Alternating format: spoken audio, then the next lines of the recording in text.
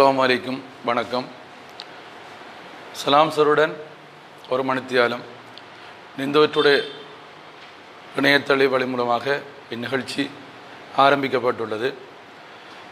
இதற்கு ஒத்துழைப்பு வழங்கி கொண்டு இதற்கு முயற்சி எடுத்த இந்த இணையதளத்தின் உரிமையாளர்களான சுலைமான் ராஃபி நாசருன் அவர்களுக்கு எனது மனமார்ந்த நன்றிகள். அந்த அடிப்படையில் இது மாணவர்களின் இந்த நிலைமைகள். இந்த இரண்டாயிரத்தி இருபதில் பரீட்சை எழுதுகின்ற மாணவர்களுக்கு நீங்கள் நினைக்கலாம். இந்த பரீட்சை பிற்போடப்படும் என்று நினைக்கலாம். ஆனால் பரீட்சை திணைக்களம் அறிவித்திருக்க எந்த காரணம் கொண்டும் பிற்போடப்பட மாட்டான்னு சொல்லி இப்போதைக்கு அறிவித்துள்ளது. அதனால் நீங்கள் ரெண்டாயிரத்தி இருபது ஆகஸ்ட் மாதம் ஃபர்ஸ்ட் வீக்கில் பரீட்சை நடைபெறும் என்ற அடிப்படையில் உங்களோட சுயகற்றல் இருக்க வேண்டும். அடுத்தது கற்கிணறிகள் இணையத்தளி வழி மூலமாக இந்த இந்த துடையிலும் நடைபெறும். அதே நேரங்களில் இன்னொரு கணக்கீட்டின் முதன்மை குறிக்கோள் கணக்கீட்டின் பிரதான நோக்கம் கணக்கீட்டின் முதன்மை குறிக்கோள் கணக்கீட்டின் பங்களிப்பு கணக்கீட்டின் பிரதான தொழிற்பாடு. நீங்கள் விளங்க வேண்டியது வணிக நிறுவனத்தின் மீது அக்கறையுடைய தரப்பினர்கள் வணிகம் பொருளாதாரம் பற்றிய தீர்மானம் எடுப்பதற்கு தேவையான தகவலை வழங்குறண்டு வந்து வரும் அல்லது தொடர்பாடல் செய்தல் கம்யூனிகேட் பண்ணுறேன்னு சொல்லி வரும். இதான் இதுக்குரிய விட. அப்போ நீங்கள் விளங்கிக்கொள்ள வேணும். இது இதிலிருந்து ஒரு முதலாம் கேள்வி உண்டு. இது முதலாவது கேள்வியாக தான் அந்த கேள்வியிருந்து எடுப்பாங்க. அப்போ இவரது முக்கியம் பிரதான நோக்கத்துக்கும் இதான் இதாம்பட முதன்மை குறிக்கோளுக்கும் இதான் இதான்பட கணக்கீட்டின் பங்களிப்புக்கும் இதுதான் விட. கணக்கீட்டின் பிரதான தொழிற்பாட்டுக்கும் இதுதான் விட. அதாவது வணிக நிறுவனத்தின் மீது அக்கறை உடையோர்கள் வணிகம் பொருளாதாரம் பற்றிய தீர்மானம் எடுப்பதற்கு தேவையான தகவல்களை தொடர்பாடல் செய்தல் அல்லது வழங்குதல். தான் முக்கியமான விஷயம். அடுத்தது அக்கறை உடையோர்கள். வணிக நிறுவனத்தின் மீது அக்கறை உடையோர்கள் வணிக நிறுவனத்தின் மீது அக்கறை உடையவர்கள் அல்லது வணிக நிறுவனத்தின் மீது தீர்மானம் எடுக்கின்றவர்கள். இவங்கன்னு சொன்னால் ஒரு வணிக நிறுவனத்திலிருந்து சிறப்பான முடிவுகள் எடுக்கின்றவர்கள். இது நீங்கள் படிச்சிருப்பீங்க.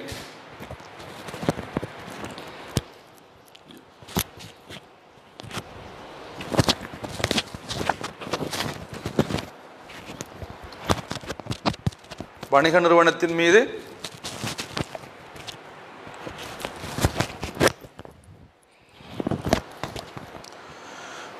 வணிக நிறுவனத்தின் மீது அக்கறை உடையவர்களை நீங்கள் படிச்சிருப்பீங்க இரண்டு வகையாக. உள்வாரியானவர்கள் வெளிவாரியானவர்கள் சொல்லி இரண்டு வகையாக பிரிக்கப்படும். வணிக நிறுவனத்தில் அக்கறை உடையவர்கள் உள்வாரியானவர்கள் வெளிவாரியானவர்கள் சொல்லி இரண்டாக பிரிக்கப்படும். இது உங்களுக்கு தெரிஞ்ச விஷயம்.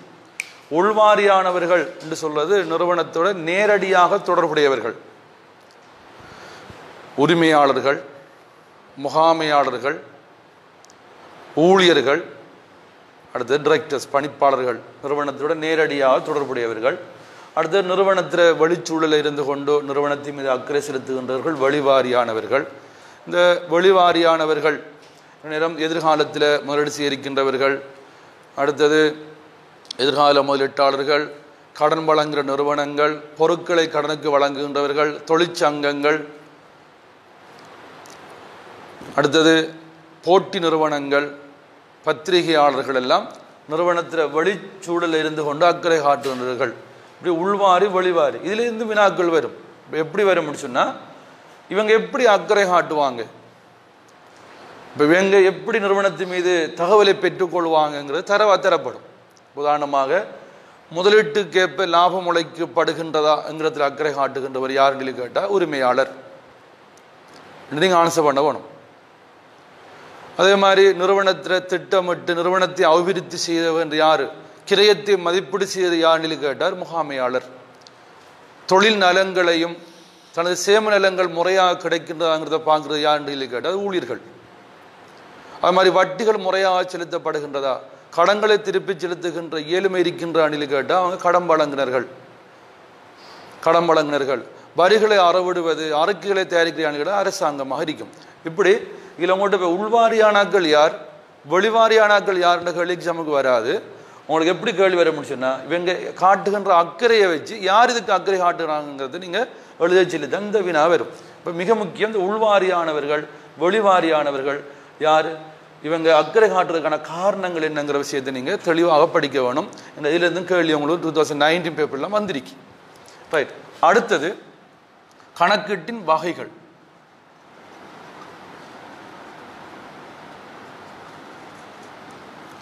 கணக்கீட்டின் வகைகள். இப்போ கணக்கீட்டை நாங்கள் ரெண்டு வகையாக பிரித்து நீங்கள் படிச்சிருப்பீங்க. ஒன்று நிதி கணக்கீடு.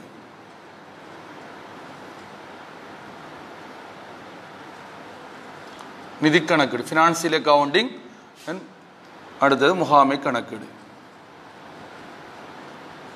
மேனேஜ்மெண்ட் அக்கவுண்டிங் இப்போ இதிலிருந்து உங்களுக்கு எப்படியான கேள்வி வரும்? நீங்கள் விரிவாக பாடமாக தேவையில்லை.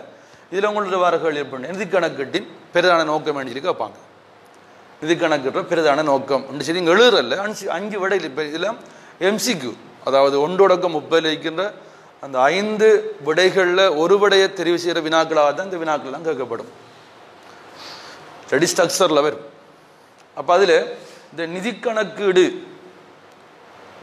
பிரதான நோக்கம் கேட்பாங்க. அப்போ நிதி கணக்குன்ற பிரதான நோக்கம் கணக்கிட்டு நோக்கம் மாதிரி தான் ஒரே ஒரு விஷயத்தை மாத்திரம் வணிக நிறுவனத்தின் மீது அக்கறை உடையவர்கள் வரிவ நிறுவனம் பற்றிய தீர்மானம் எடுப்பதற்கு தேவையான தகவல்களை வெளிவாரியானவர்களுக்கு வழங்குதல் இவங்களுக்கு வழங்குற பொதுவாக.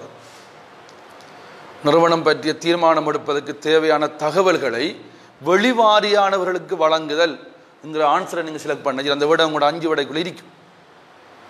வெளிவாரியானவர்கள் ஹைலைட் இதில் அக்கறையுடையவர்கள் சொல்லி வரும். இதில் பொதுவாக வரும் கணக்கட்டி நோக்கத்துக்குள்ள இதில் வணிக நிறுவனம் பற்றிய தீர்மானம் எடுப்பதற்கு தேவையான தகவல்களை வெளிவாரியானவர்களுக்கு வழங்குதல். அது மாதிரி நீங்கள் விளங்கிக் கொள்ள வேணும். நிதி கணக்கிடுங்கிறது வரலாற்று தகவலை அடிப்படையாக கொண்டது. கடந்த காலத்தை கொண்டு தீர்மானம் எடுக்கின்ற ஒரு கணக்கீடாக இந்த நிதி கணக்கீடு காணப்படும். வரலாற்று தகவலை வழங்குகின்ற ஒரு கணக்கீடாக இந்த நிதி கணக்கீடு காணப்படும். இன்னொரு கேள்வியில் கேட்கலாம். நிதி கணக்கீட்டு ஆரம்ப தொழிற்பாடு. நீங்கள் குழம்பிடப்பட கணக்கிட்ட நோக்கமும் கணக்கிட்ட தொழிற்பாடும் ஒன்று தான் ஆனால் நிதி கணக்கிட்ட நோக்கம் வேறு நிதி கணக்கிட்ட தொழிற்பாடு வேறு. நிதி கணக்கிட்ட தொழிற்பாடு வணிக நிறுவனம் பற்றிய அக்கறை உடையவர்களுக்கு தீர்மானம் எடுப்பதற்காக பொது நோக்க நிதி அறிக்கைகளை தயாரித்து வெளியிடும்.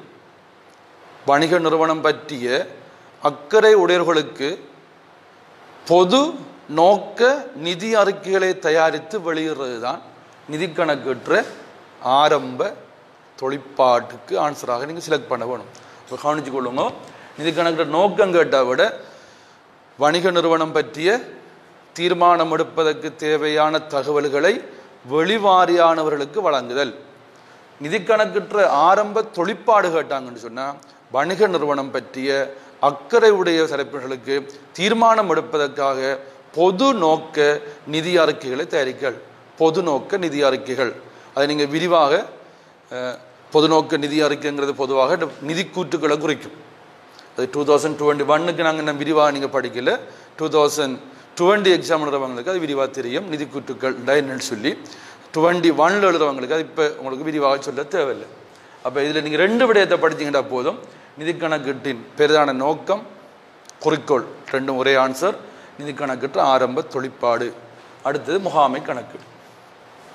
இந்த முகாமை கணக்கீடுங்கிறது முகாமையாளர்கள் நிறுவனம் பற்றிய திட்டமிட்டு நிறுவனத்தை கட்டுப்படுத்தி நிறுவனத்தை வழிநடத்துவதற்காக மதிப்பீடு செய்யப்பட்ட தகவல்களை வழங்குவது தான் இந்த முகாமை கணக்கீட்டு பிரதான நோக்கமாக காணப்படும்.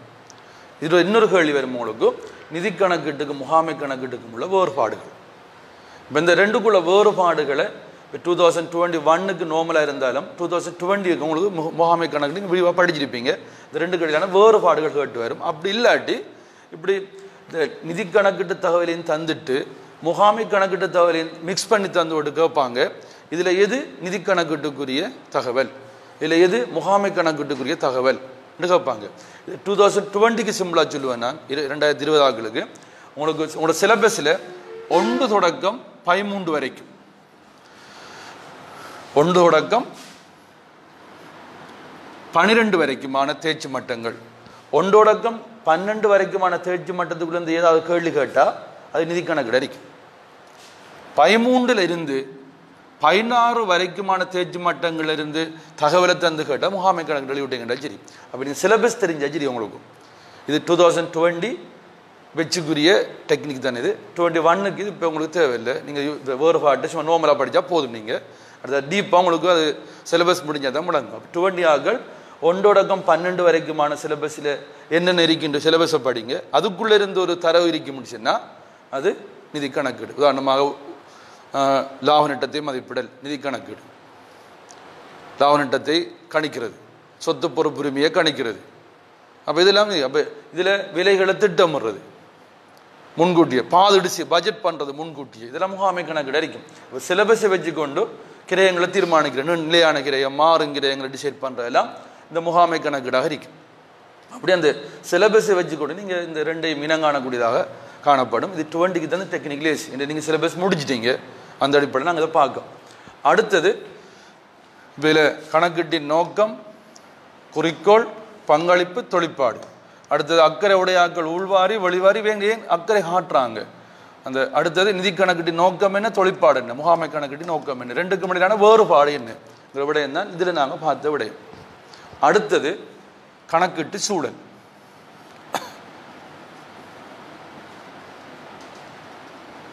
கணக்கிட்டு சூழல். இது முக்கியமான ஒரு யூனிட் அறிக்கம் வணிக நிறுவனங்கள் தனது கணக்கிட்டு செயற்பாடுகளை மேற்கொள்கின்ற போது தாக்கத்தை ஏற்படுத்துகின்ற ஃபெக்டர்ஸ் தாக்கத்தை ஏற்படுத்துகின்ற எக்கவுண்டிங் என்வாயன்மெண்ட் கணக்கீடு இல்லை கணக்கிட்டு செயல்முறைகளை நாங்கள் ப்ரோசஸை மேற்கொள்கின்ற பொழுதோ அந்த கணக்கிட்டு செயல்முறையில் தாக்கத்தை ஏற்படுத்துகின்ற விடயங்கள் தான் இந்த கணக்கீட்டு சூழல் என்று சொல்லப்படும். அப்போ அந்த அடிப்படையில் இந்த கணக்கீட்டு சூழல் நாங்கள் அஞ்சு வகையாக பிரித்து படித்தோம் அஞ்சு வகையான சூழல் நீங்கள் படித்த காணும் கணக்கீட்டு சூழல். அதில் உண்டு பொருளாதார அரசியல் சூழல். ரெண்டு நுட்பம் மற்றும் பொருளாதார அரசியல் சூழல். நீங்கள் படித்த விஷயம் அதில் டீப் அழுக தேவையில்லை. பொருளாதார அரசியல் சூழல் அடுத்த நுட்பம் மற்றும் தொழிற்சார் சூழல் அடுத்தது சமூக கலாச்சார சூழல் அடுத்தது சட்ட சூழல் அடுத்தது தொழில்நுட்ப சூழல். அப்போ அஞ்சு சூழல்கள் பொருளாதார அரசியல் சூழல் நுட்பம் மற்றும் தொழில்சார் சூழல் சமூக கலாச்சார சூழல் சட்டச்சூழல் தொழில்நுட்ப சூழல். ரைட் இதுலேருந்து எப்படி வினா வர உங்களுக்கு இந்த சூழலில் ஏற்படுற தாக்கத்தில் அந்த மாறுகள் தரப்படும். மாறுண்டா அதில் தாக்கத்தை ஏற்படுத்துகின்ற விடயங்கள். அதை தந்தோட என்ன சூழல் கேட்பாங்க. அதான் கேள்வி. வர நீங்கள் இந்த அஞ்சு சூழல் எழுதுங்கன்ற மாதிரி கேள்வி வாரது இப்போ நேரடி கேள்வி அது. இதில் கேள்வி எப்படி வர முடிச்சுன்னா இந்த ஒவ்வொரு சூழலுக்குள்ளேயும் இருக்கின்ற மாறிகள் தாக்கத்தை ஏற்படுத்துகின்ற அந்த ஃபேக்டர்ஸ் காரணிகள் அந்த விடயங்களை தந்தோடு என்ன சூழலுக்கு இது வரும் சொல்லி கேட்பாங்க. உதாரணமாக இப்போ நீங்கள் சிம்பிளாக சொல்ல போனால் இப்போ இருக்கிற இந்த சிச்சுவேஷன் கொரோனா தொற்று இருக்கு. இதை வச்சு ஒரு கேள்வி உருவாக்கலாம். உதாரணமாக கொரோனா நோயினால் சமூகம் நோய் தொற்றுக்குள்ளாகின்றது இறக்கின்றது. இன்னொரு இது என்ன சூழ்நிலை கேட்டால் இது சமூக கலாச்சாரத்துக்குள்ளே வரும். அதே மாதிரி இப்போ இந்த கொரோனா தொற்றை தடுப்பதற்காக ஊரடங்கு சட்டம் அமல்படுத்தப்பட்டுள்ள வேண்டும் வந்தால் சட்டச்சூழலுக்குள்ளே வரும். அடுத்தது இந்த கொரோனா தொற்று காரணமாக உலக பொருளாதாரம் வீழ்ச்சி அடைஞ்சுள்ள நிலை வந்தால் பொருளாதார அரசு சூழலுக்கு வரும். அப்போ நீங்கள் அந்த கேள்வி என்ன செய்யலாம்னு பாடமாக்கி எடுக்கிறது. இப்போ மூணு கேள்விகளாம் பாருங்கள் ஊரடங்கு சட்டம் சட்டச்சூழலுக்குள்ள வருது. அதே மாதிரி விலை கட்டுப்பாடுகள்லாம் சட்டச்சூழலுக்குள்ள வரும். விலை கட்டுப்பாடு விலை கட்டுப்பாடு விதிக்கப்பட்ட விலை கட்டுப்பாடு சட்டத்துக்குள்ள நடக்கப்படுது.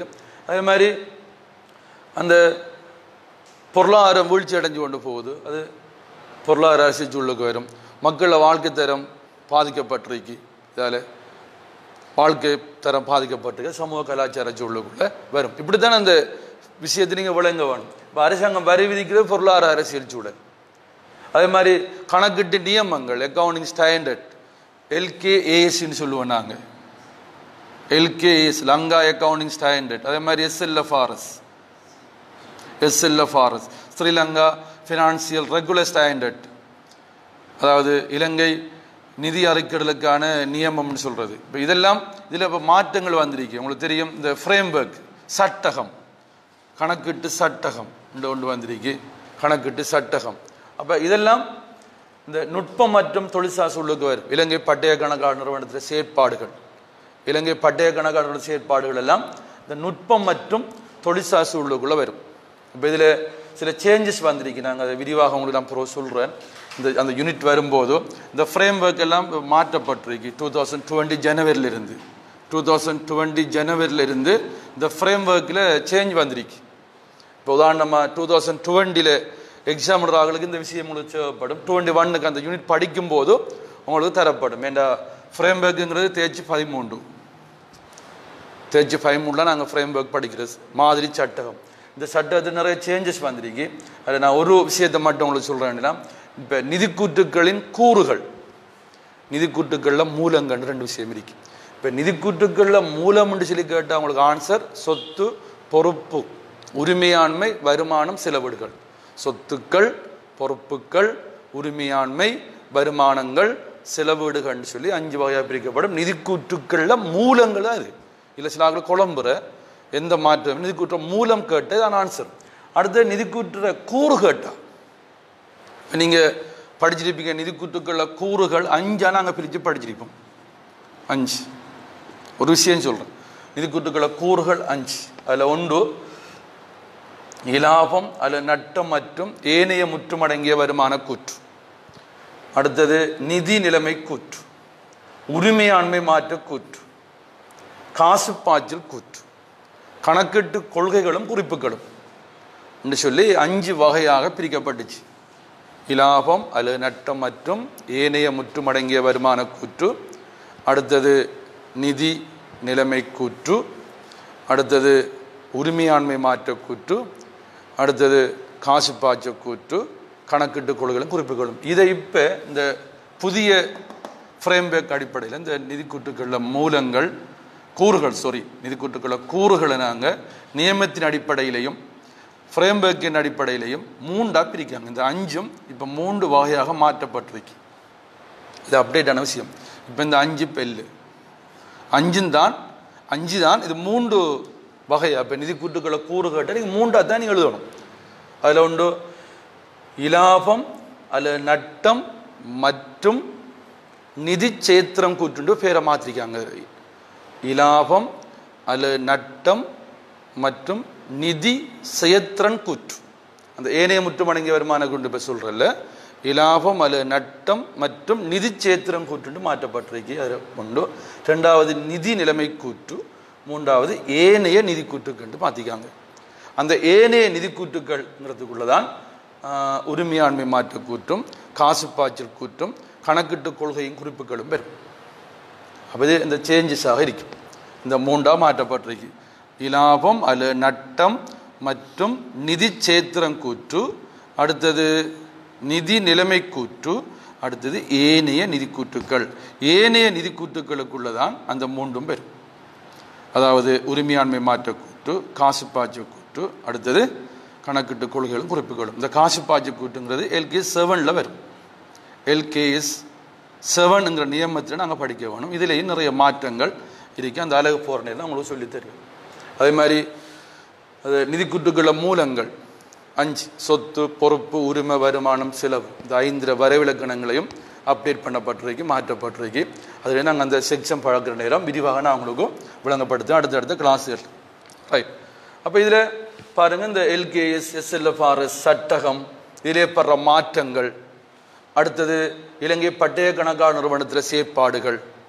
அதே மாதிரி சீமா முகாமை கணக்கு நிறுவனம் ஐக்கிய ராஜ்யத்தில் அவங்களோட செயற்பாடெல்லாம் நுட்பம் மற்றும் தொழிற்சாசு உள்ளது வரும். அதே மாதிரி கணக்கீட்டில் டெக்னிக்கை பாவிக்கிறது. இப்போ இந்த அஞ்சு அஞ்சா பிரிக்கிறத மூணாம் மாற்றப்பட்ட டெக்னிக். அஞ்சு விஷயத்தை மூணா மாற்றப்பட்ட டெக்னிக். அப்போ அதாவது நுட்பங்கள்ங்கிற நேரம் நாங்கள் விரிவாக படித்தோண்டு சோட்டா மாத்திரா நுட்பங்கள். அந்த சோட்டு கூட நீங்கள் விரிவாக படித்த அவ்வளோ வரும் அது காலத்தில் தேவைக்கேற்ப அந்த மாற்றங்கள் மேற்கொள்ளப்படும். சர்வதேச மாற்றங்களுக்கு ஏற்ற அடிப்படையில். அடுத்தது அதே மாதிரி கம்பெனி சட்டம் இருக்கு பங்குடைமை சட்டம் இருக்கு நுகர்வோர் பாதுகாப்பு சட்டம் இருக்கு விலை கட்டுப்பாட்டு சட்டம் இருக்கு இதெல்லாம் க- சட்டச்சூழலுக்குள்ள வரும். அடுத்தது சமூகத்தில் மனப்பாங்குகள். சமூகத்தில் மனநிலை இப்போ இன்றைக்கி இந்த வருமான மட்டங்கள் அதே மாதிரி கலாச்சாரங்கள் கலாச்சார வேறுபாடுகள் இதெல்லாம் சமூக கலாச்சார சூழலுக்குள்ளே வரும். அடுத்தது அரசாங்கம் வரி விதிக்கிறது அடுத்தது விலை நிர்ணயம் செய்கிறது அடுத்தது வரிகளை அறவுறது நுகர்வோரை பாதுகாக்கிறது நுகர்வோர்களை பாது நுகர்வோர்களில் அல்லது பொதுமக்களில் நலங்களை பாதுகா தீங்கு விளையக்கூடிய பொருட்களுக்கு கட்டுப்பாடுகளை விதிக்கிறதெல்லாம் பொருளாதார அரசியல் சூழலுக்குள்ளே வரும். அதே மாதிரி தொடர்பாடலில் தொழில்நுட்பம். இப்போ பாருங்க நீங்கள் வீட்டு இருக்கீங்க நாங்கள் இங்கே உங்களுக்கு படிப்பிச்சு கொண்டிருக்கோம். இணைய வழி மூலமாக. இணைய வழி மூலமாக நாங்கள் படிப்பிச்சு கொண்டிருக்கோம். இது ஒரு டெக்னாலஜி தொழில்நுட்ப சூழலுக்குலாம் வரும். இணைய வழி மூலமாக நாங்கள் கற்பித்து கொண்டிருக்கோம். அந்த கற்பித்தல் மூலமாக நீங்கள் உங்களோட வீடுகளில் இருந்து இதை நீங்கள் அவதானிச்சு கொண்டிருக்கீங்க. உங்கள் வெப்சைட் மூலமாக அல்லது ஃபேஸ்புக் மூலமாக பார்த்து கொண்டிருக்கீங்க. அதே மாதிரி நாங்கள் தொடர்ச்சியாக இந்த வகுப்புகளை இப்படி உங்களுக்கு தார நேரம் நீங்கள் வீட்டில் இருந்து கொண்டே வேலை செய்யக்கூடிய நிறைய வாய்ப்புகள் நான் உங்களுக்கு செஞ்சு தரப்போகிறோம் காலப்போக்கில். நாங்கள் இனி காலத்தின் தேவையாக இருக்கும். இந்த இணைய வழி கற்க என்பது ஒரு காலத்தின் தேவையாக காணப்படும். அப்போ அந்த அடிப்படையில் இந்த தொடர்பாடலில் தொழில்நுட்பம் ஏற்படுறது கணனியில் தொழில்நுட்பம் ஏற்பட்டிருக்கிறது நவீன தொழில்நுட்ப உபகரணங்கள் வந்திருக்கு. அப்போ அந்த அடிப்படையில் இதெல்லாம் தொழில்நுட்ப சூழலுக்குள்ளே வரும். அப்போ இதுதான் இந்த கணக்கிட்டு சூழல். அப்போ நீங்கள் என்னத்தை படிக்கணும்னு சொன்னால் இந்த ஒவ்வொரு சூழலுக்குள்ள இருக்கிற மாறுகளை படிங்க. அந்த மாறிகள் தான் கேள்வி இந்த சூழல் தான் விடையாக இருக்கும். அதான் ஆன்சராக நீங்கள் எழுத வேண்டியதாக காணப்படும் இந்த கணக்கிட்டு சூழல்ல இருந்து. இப்போ நாங்கள் படிக்க வேண்டிய விடயம் சொன்னால் நிதி கணக்கற்ற செயல்முறை அதாவது நிதி கணக்கற்ற ப்ரொசஸ் இப்போ நிதி கணக்கு செயல்முறைன்னு சொல்லி ஒரு கேள்வி எக்ஸாமுக்கு வார நேரம் அந்த செயல்முறைங்கிற கேள்வி அந்த ப்ரொசஸ் ஆர்டரில் எழுதப்படணும். அப்போ நிதி கணக்கற்ற செயல்முறை கேட்டாங்கன்னு சொன்னால் அதில் முதல் கொடுக்கல் வாங்கல் நிகழ்வுகளை இனங்காண வேணும். அப்படின்னா இன இனங்கா என்ன நடந்திருக்கு என்னென்ன கொடுக்கல் வாங்க நடந்திருக்குங்கிறது நீங்கள் இனங்காண்றீங்க. ரெண்டாவது அந்த இனங்காணப்பட்ட கொடுக்கல் வாங்கலை பதிவு செய்ய போகிறீங்க பதிவு செய்யப்பட்டவற்றை நீங்கள் என்ன போகிறீங்கன்னா வகைப்படுத்த போகிறீங்க வகைப்படுத்தப்பட்டவற்றை பொலிப்புற செய்ய போகிறீங்க சமரி பண்ண போகிறீங்க சமரி பண்ணி போட்டு நீங்கள் அதை கொண்டு போய் தொடர்பாடல் பண்ணி அதை நீங்கள் ரிப்போர்ட் பண்ண போகிறீங்க கம்யூனிகேட் பண்ண போகிறீங்க தொடர்பாடல் செய்ய இது ஓடர் முதலாவது இனங்கானவனும் ரெண்டாவது அதை பதியணும். எழு வரவு செலவுன்னு சொல்லி நீங்கள் பொருத்தமான ஏடுகளில் மூல ஏடுகள் பேரேடுகள் சொல்லி பதிகிறீங்க அந்த பதிஞ்சவற்றை கொண்டு போய் சொத்து பொறுப்பு உரிமை வருமானம் செலவுண்டு வகைப்படுத்துகிறீங்க வகைப்படுத்தி போட்டு நீங்கள் அதை கொண்டு போய் பரிச்சு பேரிடாக மாற்றுறீங்க பரிச்சு மீதியாக மாற்றுறீங்க அப்போ இதெல்லாம் சமரி பண்ணுறீங்க அதை சுருக்கமாக்குறீங்க. அதை கொண்டு நீங்கள் தோட கம்யூனிகேட் பண்ணுறதுக்காக நிதி அறிக்கைகளை தயாரித்து வெளியீடு செய்கிறீங்க அப்போ இது அந்த நிதி கணக்குற்ற செயல்முறையாக காணப்படும். இந்த ஆர்டர் மாறாமல் நீங்கள் படிக்க வேணும். அடுத்த முகாமை கணக்கீடு மேனேஜ்மெண்ட் அக்கௌண்டிங்கில் ப்ரொசஸ் மூணு இருக்குது முதலாவது ஒரு விடயம் பிளேம் பண்ணப்படும். அதாவது திட்டமிடுவோம். திட்டமிட்ட விட்டு நாங்கள் எடுத்துக்கொண்டு இணைவோம் அதை கண்ட்ரோல் பண்ணுவோம். அதாவது திட்டமிட வேணும். திட்டமிட்டு அதை பட்ஜெட் பண்ண வேணும். பட்ஜெட் பண்ணப்பட்டு அதை கட்டுப்படுத்த வேணும் பிளேனிங் பட்ஜெட்டிங் கண்ட்ரோலிங் திட்டமிடல் வரவு செலவு திட்டம்ங்கிற முன்கூட்டியே தீர்மானித்தல் அதை வச்சு கட்டுப்பாடு சிறு வருமானங்களை கூட்டுற வழிகள் செலவுகளை குறைக்கிற வழிகளை மேற்கொள்வது தான் அந்த முகாமை கணக்கிட்ட செயல்முறையாக இருக்கும் அடுத்தது கணக்கீட்டின் செயல்முறைன்னு வைப்பாங்க. பாருங்க நிதி கணக்கிட்ட செயல்முறை வேறு.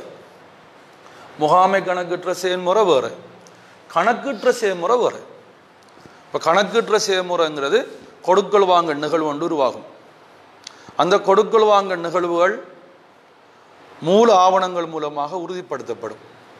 அது மூல ஏடுகளுக்கு கொண்டு செல்லப்படும்.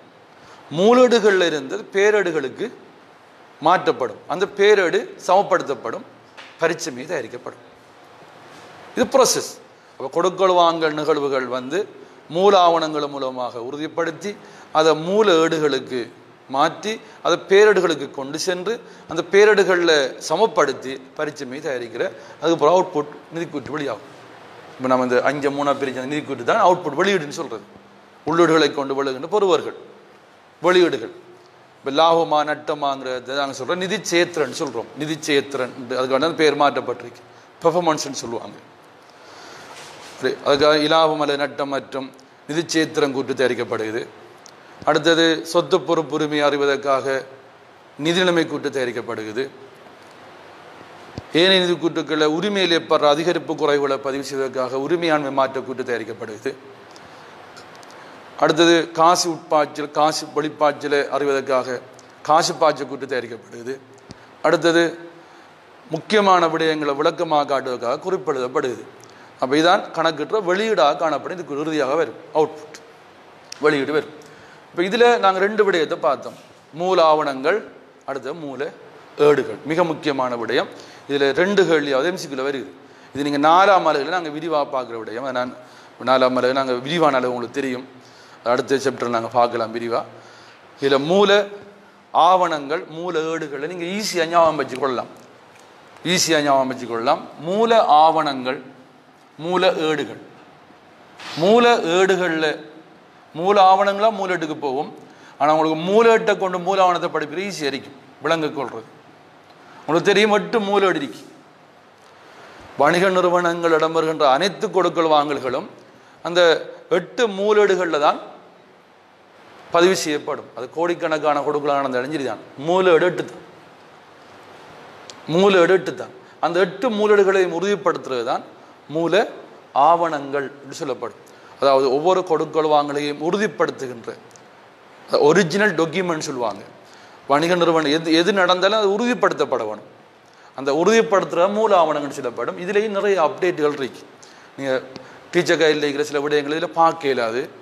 டீச்சர் கையில் இருக்கிற சில விடயங்கள் இருக்கும். அதில் சில மூல ஆவணங்கள் சொல்லப்படும். அதில் நீங்கள் எக்ஸாமுக்கு எழுதினீங்கன்னா புள்ளி தர மாட்டாங்க. ஏன்னா டீச்சர் கையில் இருக்கிற பிழையில் இது அப்டேட் மாற்றம். இப்போ டீச்சர் கைடு வந்திருக்கீங்க டூ தௌசண்ட் செவன்டீன்லேயோ நைன்லேயே வந்திருக்கும். இந்த அப்டேட் வந்திருக்கு இப்போ டூ தௌசண்ட் நைன்டீனில் இருந்துச்சுன்னா நைன்டீனில் வர அப்டேட் எப்படி டூ தௌசண்ட் செவன்டீனில் இருக்க சான்ஸ் இல்லை. அதில் இந்த அப்டேட்டை நீங்கள் விளங்கிக் கொள்ள வேணும். பாருங்கள் இது கூட்டு நம்ம அஞ்சுட்டு படித்தோம் இப்போ மூணாக மாற்றிருக்காங்க இதுக்கு நாங்கள் மாறணும். டீச்சர் கையில் பார்க்கல இது நாங்கள் அந்த மாற்றங்களுக்கு எப்போ நான் எங்களை மாறிக்கொண்டு போகணும். அது காலத்தில் தேவை. இதில் பாருங்கள் இந்த மூல ஏடுகள் எட்டு. அந்த எட்டு மூல எட்டுக்கும் எட்டு மூலாவணம் இருக்கு. அப்போ நீங்கள் மூல ஏடுகளை வைத்து மூலாவணத்தை பாடமாக்கிட்டீங்கன்னு சொன்னால் இதில் ரெண்டு கேள்வி குறைஞ்ச எக்ஸாம் பேப்பரில் வருது. ஒன்று எம்சிக்குள்ள ஒரு கேள்வி சுவராக வருது. அங்கே ஸ்ட்ரக்சர் இருபதில் ஒரு கேள்வி சுவராக வருது. அப்போ நீங்கள் இந்த எட்டு மூல எட்டு மூலாவணத்தில் இருந்து கேள்வி கணக்கு இல்லை டிரெக்டான கேள்வி. இப்போ இதில் முதலாவது மூலேடு காசு பெருவனவு நாலேடுன்னு தான் நீங்கள் சொல்ல வேணும். காசு பெருவனவு நாக்குறிப்புன்னு சொல்லாதங்க. அப்படி தான் டீச்சர் கையில் இருக்கும். காசு பெருவனவு நாலேடு. காசு பெருவனவு நாளேடு. இப்போ இந்த காசு பெருவனவு நாளேட்டில் காசு பெருவனவெல்லாம் பதியப்படும். இப்போ நீங்கள் காசுன்ற விடத்தை விளங்க வேணும் வங்கி. வங்கி நடைமுறை கணக்கு. அதாவது காசுலை வரையக்கூடிய ஒரு அக்கௌண்ட் தான் அந்த வங்கி நடைமுறை கணக்கு. அந்த வணிக நிறுவனங்களுக்கு எல்லா காசையும் கொண்டு பேங்க்லாம் டிபாசிட் பண்ண வேணும். அதான் கன்செப்ட் அப்போ நான் சிறிய சிறிய வணிகங்களை வச்சு எடுத்து பேச இயலாது. வணிக நிறுவனங்கள் எல்லா காசையும் கொண்டு வங்கியில் வைப்பிச்சு வேணும் அடிப்படையில் காசு பெருவன நாடுங்கிறது. இப்போ காசு ரெண்டு தான். ஒன்றோ எங்களை ஒரு பெரிய ஒரு வணிக நாங்கள் படிக்க பெரிய வணிகங்களை பற்றி அந்த பெரிய வணிக நிறுவனங்கள் நீங்கள் எடுத்துக்கொண்டு பார்த்தீங்கன்னு சொன்னால் இருபத்தி நாலு மணி நேரமும் வங்கியில் வைப்பு செய்யக்கூடிய வசதி இன்றைக்கு ஏடிஎம் வசதிக்கு. நீங்கள் ஊரடங்கு சட்டம்னாலும் கூட வங்கியில் கொண்டு வை பணத்தை வைப்பு செய்யறதுக்கு வசதி பேங்கு ஏடிஎம் மூலமாக செல்ஃப் பேங்கிங் இருக்குது அதில் நீங்கள் வார காசு கொண்டு டிரெக்டாக பேங்கில் போடலாம். நீங்கள் வீட்டுக்கு எடுத்து போக வேண்டிய தேவைன்றைக்கு இல்லை. அதால் எல்லா காசும் வங்கியில் வை தான் ஒரு ஒஃபீஷியலான ஒரு விடயம். ஆனால் அவசர தேவை காசு வேணும்னா அது பெட்டி கேஸ் சில்லறை காசு. நீங்கள் கொஞ்சம் காசை வீட்டை வச்சு கொள்ளலாம். பெட்டி கேஸ்ன்னு சொல்லுவாங்க சில்லறை காசுன்னு சொல்லப்படும். அப்போ அந்த அடிப்படையில் நீங்கள் நாங்கள் முந்தி படிச்சிருப்போம் காசு வங்கி சில்லறை காசுன்னு படிச்சிருப்போம். இப்போ நாங்கள் காசுங்கிறது வங்கியை குறிக்கும் அடுத்து பெட்டி கேஸ் சில்லறை காசு. ரெண்டு தான் இப்போ எங்கிட்ட இருக்க வேண்டிய காசாக இருக்கும். அந்த அடிப்படை மாற்றம் அப்போ நீங்கள் முந்தி படிச்சுப்பீங்க காசு வங்கின்றலாம் அவங்களுக்கு நீ வரமாட்டா எக்ஸாம் பேப்பரில் காசுண்டு குளம் இருக்கு அது வங்கின்ற அலுமை தான் காசுன்ற அலுமை தான். அப்போ காசு பெருவனவு நாளேடு. இதில் காசு பொறுவனவெல்லாம் நீங்கள் பதிவீங்க அதை நாங்கள் நாலாம் மரக படிக்கக்கூட விரிவாக நாங்கள் பார்ப்போம் பயிற்சிகளும் செய்வேன். அப்போ காசு பெருவனவு நாளேட்டில் காசு பொறுறதெல்லாம் வரும். காசு பெற்றாலும் சரி காசுல பெற்றாலும் சரி அவ்வளோ இந்த காசு பெருவனவு நாளேட்டில் வரும். காசு பெருவ நாளில் என்ன வருமோ அதுக்கெல்லாம் மூலாவணம் பற்றுச்சிட்டு பற்றுச்சிட்டு காசு பெருவனவு நாளில் இப்படி தான் ஞாபகம் வச்சுக்கொள்ளுங்க இப்போ காசு விற்பனை. அது மாதிரி வியாபார வருமானம் பெற்ற காசு. வாடகை வருமானம் பெற்று வட்டி வருமானம் பெற்று கொடுத்து கழிவு கொடுத்து. காசு பெருமணவு நாளில் வருமுண்டா அதுக்குரிய மூலாவணம் பற்றிச்சிட்டுன்னு ஞாபகம் வச்சுக்கொள்ளுங்க அதே மாதிரி காசு கொடுப்பனவு நாளேடு. காசு மூலமான காசுங்கிற வங்கியை குறிக்கும். காசுலையே குறிக்கும். அப்போ காசு மூலமான கொடுப்பனவுகளை பதிகின்ற மூலேடு தான் காசு கொடுப்பனவு நாளடுன்னு தான் சொல்ல வேணும் காசு கொடுப்பனவு நாக்குறிப்பு எழுதிங்கன்னா உங்களுக்கு புள்ளி கிடைக்காது. அப்போ காசு கொடுப்பனவு நாளேடு காசு கொடுப்பன நாளில் வார விடயத்தில் உறுதிப்படுத்துகிற மூலாவணம். அதாவது காசு இப்போ நீங்கள் பொருட்களை காசுக்கு வாங்கலாம் காசில் கொடுத்து வாங்கலாம் அடுத்தது கடன் கொடுத்துரு காசு கொடுக்கலாம் வாடகை கொடுக்கலாம் மின்சாரம் கொடுக்கலாம் சம்பளம் கொடுக்கலாம் பெற்ற கழிவு வரலாம். இந்த காசு கொடுப்பன நாளில் என்ன வந்தாலும் அதுக்குரிய மூலாவணம் கொடுப்பனவு உறுதிச்சீட்டு. காசு கொடுப்பனவு உறுதிச்சீட்டு.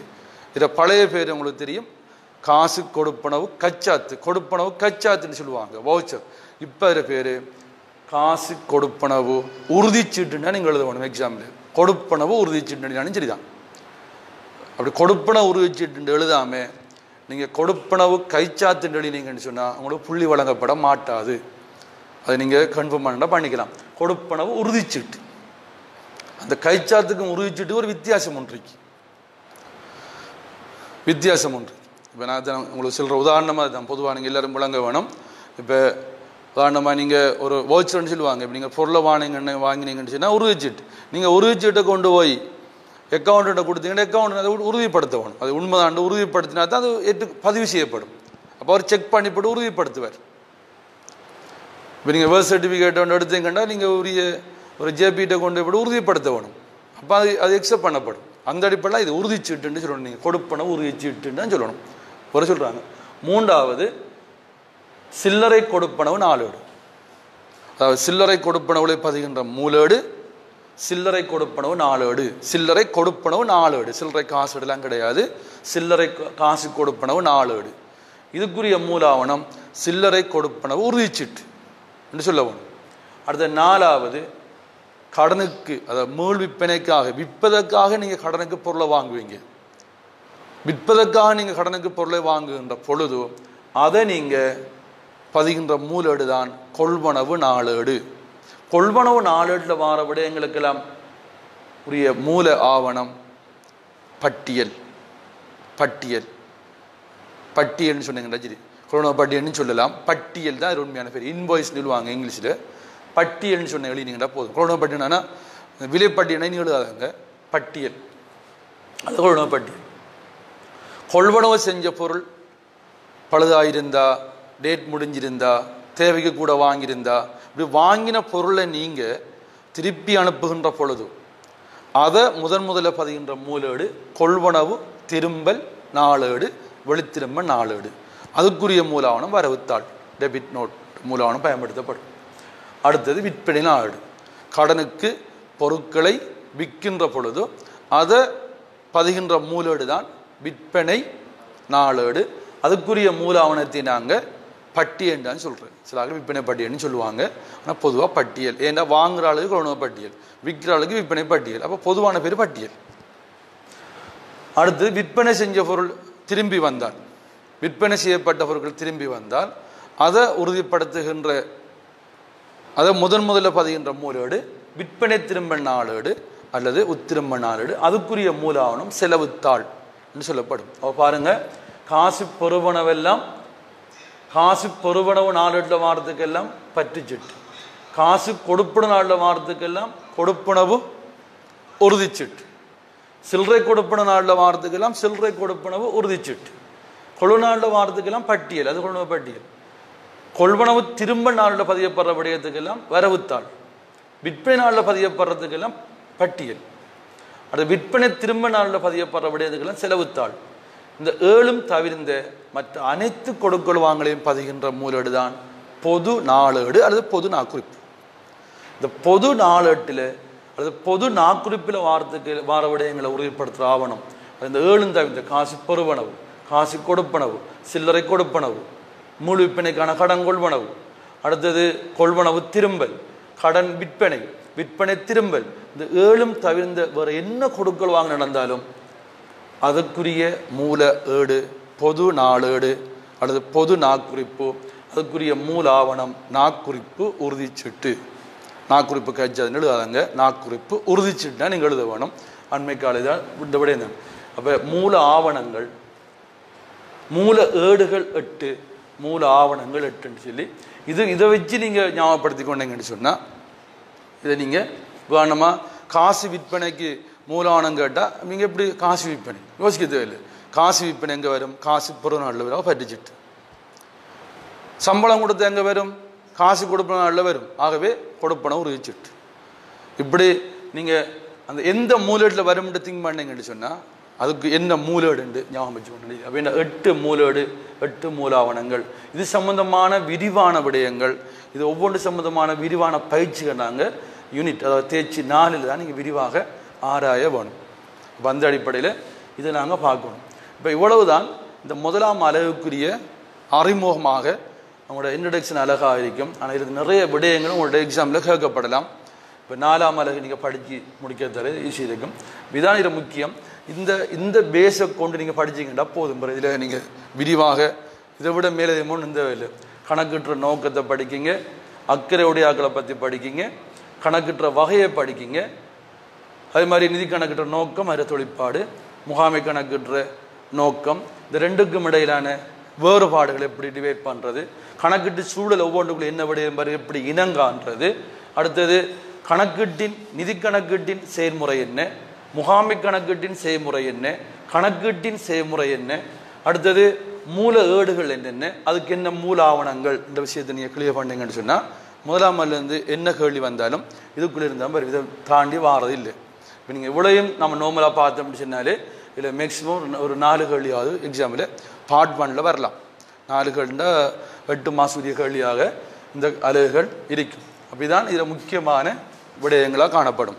இப்போ மாணவராய நீங்கள் இந்த குறிப்பாக டூ தௌசண்ட் எயிட்டீன் சாரி ரெண்டாயிரத்தி இருபது சாரி ரெண்டாயிரத்தி இருபதில் பரீட்சை எழுதுகின்ற இருக்கின்ற நீங்கள் உங்களோட கற்பித்து சுய கற்றலை திட்டமிட்டு கொள்ளுங்கள் மிக முக்கியமான நீங்கள் வீட்டில் இருக்கீங்க என்ற சிலாக்கள் ஒரு தவறான ஒரு கருத்துக்கள் ரெண்டு கருத்து விள- முதலாவது எக்ஸாம் பிந்தலாம்னு சொல்லி இதுவரைக்கும் அந்த தீர்மானம் இல்லை அதில் எந்த மாற்றம் இல்லைன்னு தான் கல்வி அமைச்சும் பரிசு திணைக்களமும் சொல்லியிருக்கும்.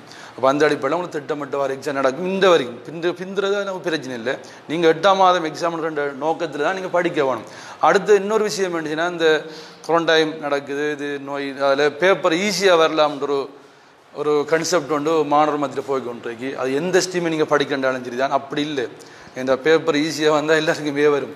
பேப்பர் ஈஸியாக வரண்டு இல்லை அதுக்குள்ளே நம்மளை செலக்ட் பண்ண போகிறாங்க யூனிவர்சிட்டிக்கு இப்போ பேப்பர் பேப்பர் ஸ்டாண்டில் அண்டிக்கும் நீங்கள் என்ன ஸ்டாண்டில் படிக்க போகிறீங்களோ அந்த ஸ்டாண்டில் நீங்கள் படித்து கொள்ள வேணும்.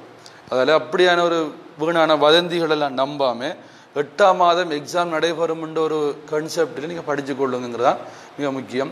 அடுத்தது நீங்கள் செல்ஃப் ஸ்டடிக்கு மிக வாய்ப்பு. நீங்கள் இப்போ இந்த பிரச்சனையெல்லாம் தீர்ந்து நீங்கள் அடுத்தது இப்போ கிளாஸ் ஸ்டார்ட் ஆகிற நேரம் கிளாஸ் அதிகமாக உங்களுக்கு நடைபெற பார்க்கும் வேண்டாம். சிலபஸை முடிக்க வேணும்.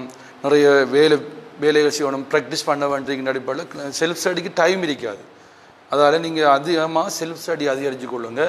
வீட்டிலிருந்து உங்களோட மேக்ஸிமம் நீங்கள் வீட்டு இருக்கீங்க. இருபத்தி நாலு மணித்தியாலமும் நாங்கள் வீட்டில் இருந்து கொண்டு இருக்கக்கூடிய சூழ்நிலை பெருக்கி அது அழகாக நீங்கள் திட்டமிட்டு படித்து இந்த மூன்று பாடங்களையும் ஒவ்வொரு கிழமைக்கு ஒருக்கா இல்லாட்டி பத்து நாளைக்கு ஒருக்காண்டான இந்த மூணு பாடங்களையும் பத்து நாளைக்கு ஒருக்கா நீங்கள் மீட்கலாம். திரும்ப திரும்ப படித்ததை மீட்டுக்கொள்ளுங்க உங்களுக்கு என்ன சந்தேகங்கள் இருக்கோ நீங்கள் சந்தேகங்களை கூட எங்கள்கிட்ட அந்த ஒரு கம்யூனிகேட் பண்ணக்கூடிய ரீதியில் நாங்கள் இந்த நிகழ்ச்சியை செய்வோம். எதிர்காலங்கள் அடுத்தடுத்த வகுப்புகளில் நாங்கள் நீங்கள் டவுட் கேட்டால் நாங்கள் எந்த அளவில் நீங்கள் அக்கௌண்ட்ஸை டவுட் கேட்கலாம் எந்த டவுட் கேட்டாலும் நாங்கள் அதை உங்களுக்கு நேரடியாக கிளியர் பண்ணி தரக்கூடியதாக நாங்கள் இந்த விடயம் இருக்கும் அடுத்தது இதில் அக்கௌண்டிங்கை பொறுத்த வரைக்கும் பதினாறு தேஜ் மட்டம் இருக்கின்ற பார்த்துருக்கோம் அந்த பதினாறு தேர்ச்சி மட்டங்களில் இருந்து எப்படி வினாக்கள் கேட்கப்படுது? பார்ட் ஒன் வினாக்களுக்கு பதினாறு அலகிட அறிவும் உங்களுக்கு வேணும்.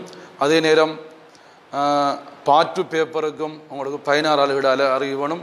பார்ட் ஒன் டெக்னிக்கான பேப்பர் அப்போ அதுக்கேற்ற மாதிரி நீங்கள் ப்ரிப்பேர் பண்ண வேணும்.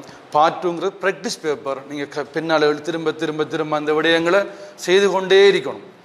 ஒரு ஒரு கணக்கை செய்யுங்க. அது மாதிரி விடைய பாருங்கள் டவுட்டில் நோட் பண்ணி வைங்க. உங்களுக்கு என்ன சந்தேகம் இருந்தாலும் அதை நீங்கள் நோட் பண்ணி வைங்க. அதை நாங்கள் விளங்கப்படுத்தக்கூடியதாக அந்த விளங்காத விஷயங்களை நீங்கள் எங்களுக்கு இன்ஃபார்ம் பண்ணுற நேரம் அதை நாங்கள் உங்களுக்கு கிளியர் பண்ணி தருவோம். செஞ்ச கணக்கில் வழங்காத விடயம் அல்லது நீங்கள் டவுட் இருந்தால் அப்போ அதில் அந்த சேஞ்சஸ்களை நாங்கள் அளவு உங்களுக்கு சொல்லி தருவோம். ஆனால் அடுத்தது உங்களுக்கு நாங்கள் சில நேரங்களில் டியூட்டில் அப்டேட் பண்ணி போடுவோம். நீங்கள் அதை ப்ராக்டிஸ் பண்ண வேணும். சரி அதில் நீங்கள் விளங்காத நாங்கள் திரும்ப அந்த பேப்பரை விளங்கப்படுத்துவோம். அப்படி இது ரெண்டு கட்டங்களாக நான் செய்கிறண்டு முடிவெடுத்திருக்கேன் அக்கௌண்டிங் பாடம். இதில் நாங்கள் வெற்றியை பொறுத்து ஏனைய இரண்டு பாடங்களையும் உங்களுக்கு செய்கிறண்டு முடிவெடுத்திருக்கோம். காலப்போக்கில் அதையும் நாங்கள் மூணு பாடங்களும் போகக்கூடிய வாய்ப்பை நாங்கள் செய்வோம். இந்த டுடையாலையும் செய்வோம். அதே மாதிரி எங்களோட இணையதள வழியாலையும் செய்வோம். ரெண்டு ரக்கில் போவோம். உங்களுக்கு இப்படி ஒரு லைன்லேயே நான் கொண்டு போவேன். அடுத்து எங்களோட இணையதள வகுப்புலேயே எந்த ஒரு கிரியேட் பண்ணியிருக்கிறோம் உங்களுக்கு தெரியும். நீங்கள் அதில் பதிஞ்சிருக்கீங்க எல்லாரும். அதிலேயே நான் கொண்டு போவேன். அப்போ ரெண்டு ரக்கில் போக நிறைய ப்ராக்டிஸில் நாங்கள் செஞ்சு நீங்கள் இந்த நிலைமை சீராகும் வரைக்கும் நாங்கள் படித்து கொண்டிருக்கலாம். அதே நேரம் இப்படியான விஷயங்களில் நீங்கள் டைம் வச்சு படிங்க. பாஸ் பேப்பர்கள் நேரங்களை பார்த்து படிக்கக்கூடியதாக இருக்கணும்.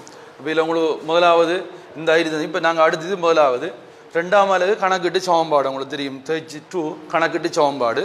கணக்கிட்டு சமன்பாடு சம்மந்தமாக நீங்கள் ரெடி பண்ணி வைக்க வேணும். இந்த டைமுக்குள்ளே நாங்கள் இப்போ கணக்கிட்டு ஈஸியான விடயம் இல்லை. உங்களுக்கு தெரியும். கணக்கிட்டு சோம்பாடுங்கிற விடயம் நாங்கள் அடுத்த இதில் கணக்கிட்டு சமன்பாட்டை பார்த்து நான் செய்கிறோம் உங்களுக்கு. அதில் கணக்குகள் பயிற்சிகள் எல்லாம் நாங்கள் செய்வோம்.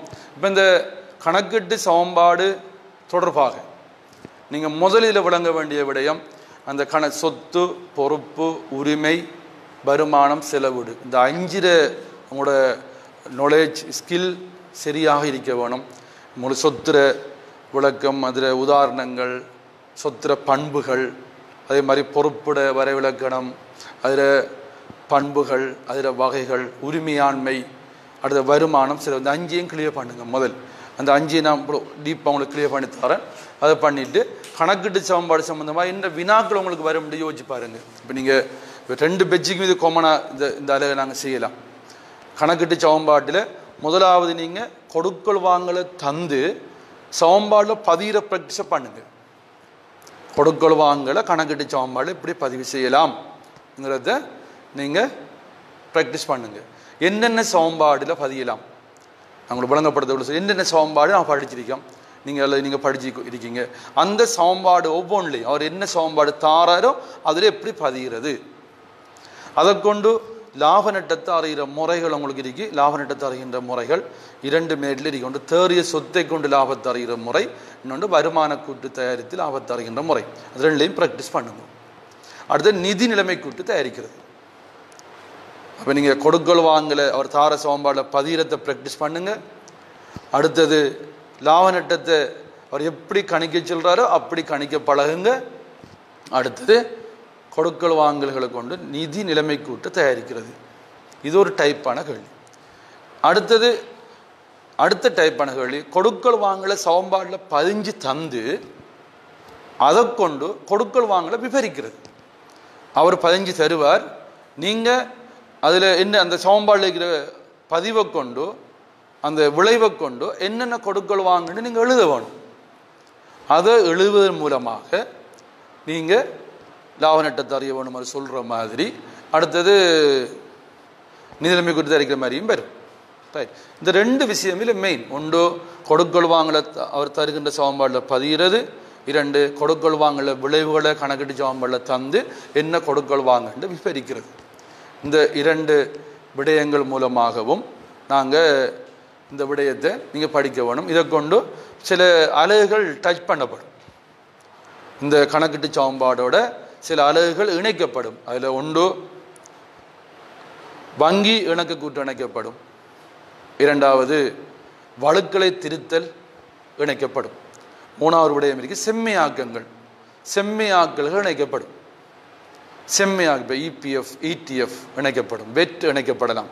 இதில் நாங்கள் பார்க்க வேணும். அப்போ நீங்கள் இந்த கணக்கீட்டு சமன்பாடு தொடர்பாக பார்ட் ஒன்னுக்கும் ரெடியாக வேணும் பார்ட் டூக்கும் ரெடியாக வேணும். அதே நேரம் நீங்கள் பேசிக்கில் செஞ்ச கணக்கு மட்டும் போதாது. நாங்கள் விரிவாக சில அலகுகளை இணைச்சி கணக்கெடுத்து சமன்பாடு செய்ய பழக வேணும். அப்போ நீங்கள் ரெடியாக இருந்தீங்கன்னா சரி. இப்போ அடுத்து நாங்கள் இந்த கிளாஸ் செய்கிற நேரம் நாங்கள் இன்ஃபார்ம் பண்ணுவோம். இன்ஃபார்ம் பண்ணுற நேரம் நீங்கள் கொடுக்கல் வாங்கலை கணக்கிட்டு சமன்பாடில் பதிஞ்சு பழகுங்க வருமான கூட்ட தயாரிங்க நிதிநிலைமை கூட்ட தயாரிங்க. உங்களுக்கு தெரியும் டூ தௌசண்ட் நைன்டீனில் இருபது புள்ளிக்கு இந்த கணக்கெடு சமன்பாடு வந்திருக்கு. இருபது மார்க்ஸ் பார்ட் டூவில் மட்டும். பார்ட் டூவில் மட்டும். பார்ட் ஒன்லேயே நாலு கேள்வி வந்திருக்கு. அப்போ நீங்கள் ஒரு கூடுதலான மார்க்ஸ் எடுக்கக்கூடிய அப்போ நீங்கள் கணக்கெட்டு சமன்பாடு இருபது மாதத்துக்கு வந்திருக்குன்னு சொன்னால் தனியாக கணக்கெட்டு சமன்பாடு இல்லை அது வழுக்களை திருத்தலோட லிங்க் பண்ணி கணக்கெட்டு சமன்பாடு வந்திருக்கு. அப்போ அதில் அந்த அலகுகளை இணைச்சி நாங்கள் செய்கிற நேரம் தான் அந்த கணக்கெட்டு சமன்பாட்டுற முழுமையான அறிவை நாங்கள் பெற்றுக்கொள்ளக்கூடியதாக இருக்கும். அவை மிக முக்கியமான அழகு. செய்யலாம் இருக்காங்க. பெண் எடுத்து எந்த எந்த அழகை படிக்கும் போதும் நீங்கள் சும்மா வாசிக்காதங்க. அங்க பதிவு மிஞ்ச இஞ்ச பதிவு வாசிக்காமல் நீங்கள் பெண் எடுத்து கோட்டடிச்சு டைம் செட் பண்ணி எவ்வளோ நேரம் எடுக்குது? இப்போ time allocation two thousand twenty ஒன்னை விட ஒன்னுக்கு முக்கியம் டூ தௌசண்ட் டுவெண்ட்டிக்கு மிக முக்கியம் இதான் இப்போ நீங்கள் பார்ட் டூ பேப்பர் செய்ய போகிறீங்கன்னு சொன்னால் பார்ட் டூ பார்ட் டூ இப்போ உங்களுக்கு வார கேள்வி ஐந்து கேள்வி ஆறு கேள்வி வரும். ஆறு பேப்பரில் ஆறு வினாக்கள் வரும். நீங்கள் அதில் ஒன்றையும் ரெண்டையும் கட்டாயம் செய்யணும். ஏனைய கேள்வியில் நீங்கள் செய்ய வேண்டிய மூணு கேள்வி. அப்போ எல்லாம் நீங்கள் அஞ்சு கேள்வி தான் செய்ய போகிறீங்க அஞ்சு கேள்வியும் இருபது புள்ளி தான் வரும். அஞ்சு கேள்வி ஒவ்வொரு ஒவ்வொரு வினாவும் இருபது புள்ளிக்கு வரும். அப்போ நீங்கள் யோசிச்சு பாருங்க. நூற்றி ஐம்பது நிமிட பேப்பர் த்ரீ ஹவர்ஸ் நூற்றி ஐம்பது நிமிட பேப்பர் நூறு புள்ளிகளுக்கு நீங்கள் செய்ய போகிறீங்க அப்போ நீங்கள் ஒரு புள்ளிக்கு செலவழிக்க வேண்டிய நேரம் ஒன் பாயிண்ட் எயிட் அப்போ நீங்கள் ஒரு வினா இப்போ முதலாம் வினாண்டுச்சுன்னா அதுக்கு நீங்கள் இருபது புள்ளிக்கான கேள்வி. அப்போ நீங்கள் என்ன செய்யணும்? முப்பத்தாறு நிமிஷம் செலவழிக்கணும் ஒவ்வொரு ஒவ்வொரு வினாவுக்கும். ஒவ்வொரு வினாவுக்கு நீங்கள் முப்பத்தாறு நிமிடங்கள் செலவழிச்சு போகணும். அப்போ அஞ்சு வினாவுக்கு நூற்றி ஐம்பது நிமிடம் சரியா வரும். அப்போ ஒவ்வொரு வினாவுக்கு நீங்கள் செலவழிக்கணும். அப்போ நீங்கள் ஒவ்வொரு வினா பேப்பரை கட்டாமல் பாருங்க பாஸ் பேப்பர் ஓர்டரை பாருங்க அதுக்கேற்ற மாதிரி டைமை அலோகேட் பண்ணி செய்யுங்க மிக முக்கியம் டூ தௌசண்ட் டுவெண்ட்டி பெஜ்ஜிக்குது சும்மா கேள்வி வச்சுக்கிறோம் ஒரு ஒரு கணக்கு எடுத்துக்கிட்டு இன்றைக்கு ஃபுல்லாக தஞ்சு டிகிரி சரி வராது. டைம் வச்சு செய்யுங்க ப்ராக்டிஸ் பண்ண பண்ண பண்ண வரும். இந்த கேள்வி எவ்வளோ செஞ்சு முடிக்கலாமான்னு இல்லை. டைமிங் மிக முக்கியம். நேரத்தை வச்சு தான் ப்ராக்டிஸ் பண்ணணும். டுவெண்ட்டி பெஜ் முக்கியம். டுவெண்ட்டி ஒன் பேஜ் நீங்கள் அப்படி தான் படிங்க நான் உங்களுக்கு டைம் பிரச்சனை இல்லை. நான் இருபதுக்கு இது மிக முக்கியம். அப்புறம் எம்சிக்கு நீங்கள் பாருங்கள் எம்சிக்கு உங்களுக்கு நூறு நூறு.